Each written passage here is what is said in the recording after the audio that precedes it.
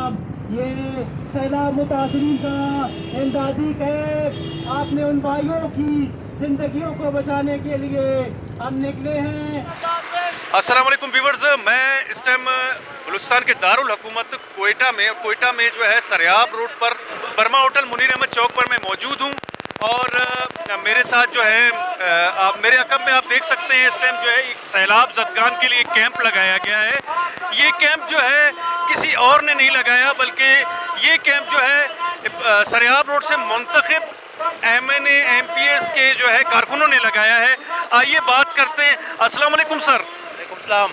अ, sir आप सबसे पहले तो ये बताइएगा कि इस टाइम एम पी ए भी आप लोगों के हैं एम एन ए भी आप लोगों के हैं बल्कि आप लोगों पर यह भी इल्ज़ाम लगाया जाता है कि इस टाइम बाप की गवर्नमेंट नहीं बल्कि बीएनपी की गवर्नमेंट है। उसके बावजूद आप लोग यहाँ पर खड़े चंदा ले रहे हैं। देखें सबसे पहले तो ये है कि ये बलूचिस्तान की तारीख में सबसे एक बड़ा फ्लड जिसको हम कहते हैं, सैलाब कहते हैं, ये सिर्फ़ इस सैलाब ने एक M P M N A के इलाके को मुतासर नहीं किया, बल्कि पूरे बलूचिस्तान को इस वक्त मुतासर किया। ये न एक एम पी ए की बस की बात है, न एक एम एन ए की बस की बात है, न एक मैं समझता हूँ, एक हुकूमत की बस की बात है। ज़रूर हुकूमत की ज़िम्मेदारी ज़्यादा बनता है।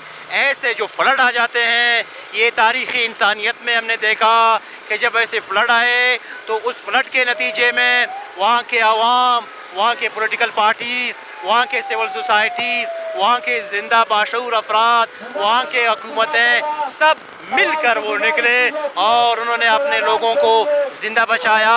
इस वक्त पूरा बलूचिस्तान, आप देख रहे हैं कि डूबा हुआ है। यहाँ इंफ्रास्ट्रक्चर मुकम्मल तौर पे जो है वो ख़त्म है। यहाँ रास्ते बंद हैं। यहाँ बुनियादी ज़रूरियात ज़िंदगी आप देखें, वो ना होने की बराबर हैं। लाखों के तादाद में लोग जो हैं वो पानी में डूबे हुए हैं। लोगों का गला पानी, ज़मींदारी, दीगर शोबा ज़िंदगी जो है वो मुकम्मल तौर पे ख़त्म हुए हैं। तो आपका जो सवाल है, बलोचिस्तान नेशनल पार्टी वो जमायत है जिसने इस फ्लड को इंसानियत की उसमें लेते हुए तमाम तर नफ़रत, तमाम तर तासुब, तमाम तर लिसानी चीज़ों को, यानी बालातर होकर एज ए बलूचिस्तानी और बलूचिस्तानी हवाले से उन्होंने इस एजेंडे को रखा है।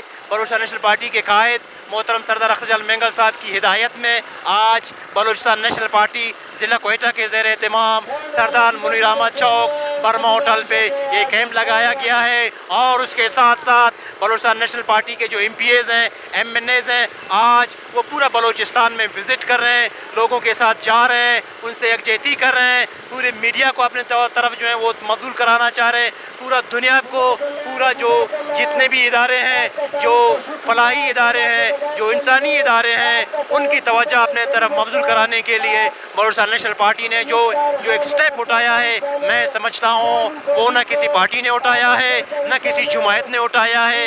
ये मैं समझता हूँ, ये खालिसता पी ने, ये वाद वो जमायत है, जिन्होंने बलूचिस्तान की तमाम तकालीफ मुसीबतों, आफतों, लापता अफराद की बाजियाबी और दीगर मसाइल का हवाले से जो एक स्टैंड लिया है, वो वाहिद जमायत है कि जिन्होंने इस मसले को एज इंसानियत से जोड़ते हुए बलोचिस्तान की लोगों को इस तकलीफ़ और मुश्किल से निकालने में अपना हिस्सा डाला है। इस चीज़ को हम खालिजता इंसानियत और बलूचिस्तानी होने के नाते में हम इसको अपना फ़र्ज़ समझते हैं, अपना ज़िम्मेदारी समझते हैं कि हम जितना हो सके हमारे कितने महदूद वसाइल हैं। हम तमाम चीज़ों के मद्देनज़र रखते हुए अपने लोगों को इस मुसीबत इस परेशानी से निकालने में अपना छोटा सा हिस्सा शामिल करना चाहते हैं। अच्छा सर कल वज़ीर आज़म साहब भी आए यहाँ पर। और उसको उनको जो है वेलकम भी आप लोगों के जो है नुमाइंदों ने किया। क्या वो कुछ नहीं देखे गए? मैं समझता हूँ कि ये बलूचिस्तान नेशनल पार्टी को इस चीज़ का एहसास है। कि उन्होंने मुल्क के वज़ीर अजम को भी यहाँ आने पर मजबूर कराया कि आप एज ए, इस मुल्क के चीफ एग्जेक्टिव की हैसियत से आप बलोचिस्तान के वो इलाकों का दौरा करें और आपने आँखों से जो है ये सारे जो सूरत हाल है, जो मंजरनामा है, वो आप उसको देखें। तो यकीनन मैं समझता हूँ कि वज़ी अजम ने भी बलोचिस्तान नेशनल पार्टी की रिकमेंडेशन पे, बलूचिस्तान नेशनल पार्टी की इस मौक़ के अपनाते हुए वो बलूचिस्तान आया, ताकि हम ये समझते हैं कि ये सूबाई हुकूमत या मरकज़ी हुकूमत या यहाँ का जो मरकज़ी हुकूमत जो भी है, हमारा बुनियादी मकसद ये है कि हम बलूचिस्तान को इस तकलीफ़ और मुश्किल हालात में, यहाँ के लोगों को इस मुश्किल हालात से निकालने में वो हम अपना हिस्सा डालना चाहते हैं, ताकि हम, हमें पता है कि शायद हम तो सब कुछ नहीं कर सकते, लेकिन वो वो इब्राहिम खलीलुल्लाह को जब वह उस वक़्त की वो उसको आग में डाल रहे थे तो छोटी सी चिड़िया ने कहा कि मैं भी अपना पानी अपने मुँह से उन्हें पानी का वो एक कतरा उठा के फेंका गया। उसने कहा कि मैं उस आग तो बुझा नहीं सकूँगा, लेकिन मैं तारीख में अपना वो हिस्सा डालना चाहूँगा।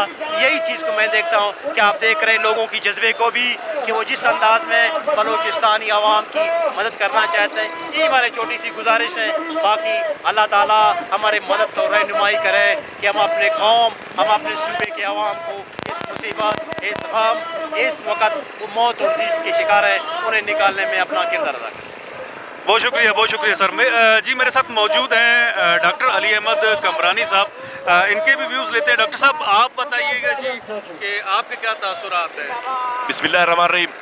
सबसे पहले मैं कमरानी टीवी चैनल का मशहूर हूँ कि वो अपने हजब रवायत उन्होंने कमरानी टीवी चैनल ने सरियाब के जो लोकल इशूज़ है, उनको हाईलाइट किया और आज हमें कवरेज दी।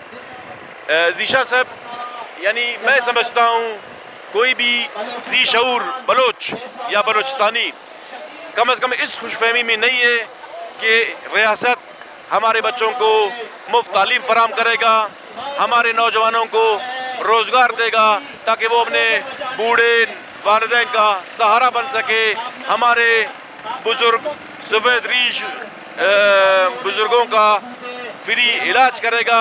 कम से कम इस खुशफहमी में बलोच मुबतला नहीं है। इसी वजह से आज का जो बुनियादी मकसद है इस कैंप का, इसी वजह से कि हम हुकूमत से बिल्कुल मायूस, इंतहाई मायूस मायूस है और अपने मदद आपके तहत हम अपने आवाम के रिलीफ के लिए निकले हैं और हवाम हमें बिल्कुल सपोर्ट कर रहा है। हम आवाम के भी मशहूर हैं। हम अपनी मदद आपके तहत इन बलुस्तानी अवाम को इस मुश्किल घड़ी से निकालने निकालने में बलुस्तान नेशनल पार्टी अपना किरदार अदा करेगा। बहुत शुक्रिया बहुत शुक्रिया। आ, बहुत बहुत शुक्रिया।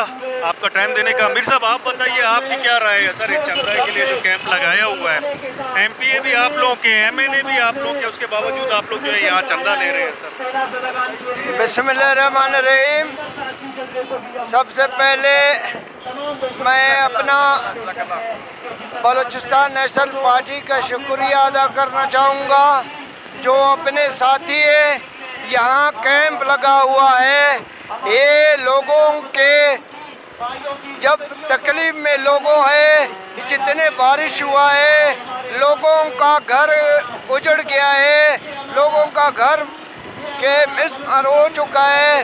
जो पानी में जितने लोग 24 आदमी इस पानी में बह चुका है, बलूचिस्तान के जितने, ये गवर्नमेंट है। मैं वज़ीर अला चीफ सेक्रेटरी, होम सेक्रेटरी, जितने लोग हैं इससे मैं ख्वाहिश करता हूँ कि इस लोगों का मदद करे। आप कहते हैं कि आपका एमपी है एमएनए है। मैं बिल्कुल तहकीक करता हूँ एमपी है, मगर गवर्नमेंट में है ही नहीं, मगर सीटों पे बैठे हुए नहीं। इसको इख्तियार नहीं है इख्तियार नहीं दिया गया है। बगैर इसका फंड से, बगैर इसका रुपये तनख्वाह से, इसको उसको कुछ नहीं मिल रहा है। मैं वज़ीर अला को कहना चाहूँगा, जल्द से जल्द लोगों का साथ ताउन करे। मैं ये सरियाब का जो आपको पता है कि गुलाम रसूल का पानी, जितने बड़ा पानी आया, आपको पता है, कस्टम के नज़दीक अभी तक बड़े से बड़े गड्ढा पानी से भरा हुआ है। लोग किले गुलाम रसूल लिंक रोड से नहीं गुजर सकते हैं। मैं आज भी गया, दो घंटे डीसी का कमरे में बैठकर एसी से मुतालबा किया। जल्द से जल्द कुछ ऐसे करे कुछ इसमें बजरी डाल दे, लोगों को रास्ता दिलवा दे। दो घंटे के लिए भी कुछ नहीं हुआ। बोलते, मेरे साथ टाइम नहीं है, दो दिन के बाद आओ। अफसोस के बाद कहना पड़ता है कि ऐसी साहब से मैं भी गुजारिश करता हूँ। आज के आज वो गड्ढे को भर दे, लोगों का साथ तावन करे। बहुत बहुत मेहरबानी।